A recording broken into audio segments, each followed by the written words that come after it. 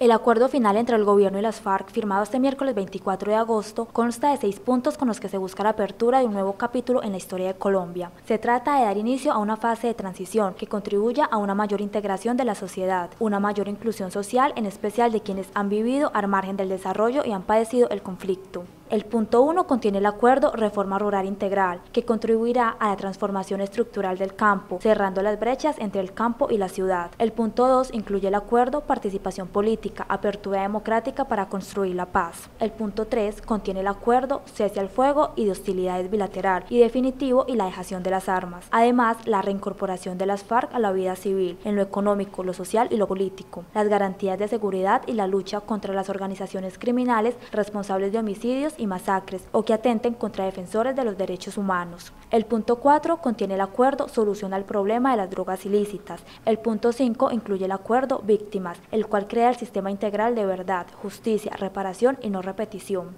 El punto 6 contiene el acuerdo mecanismos de implementación y verificación, en el que se crea una comisión de implementación, seguimiento y verificación del acuerdo final de paz y de resolución de diferencias. Ahora está en las manos de los colombianos decidir si se pone fin al conflicto armado con las FARC que existe desde más de 60 años y que ha dejado más de 7.000 víctimas.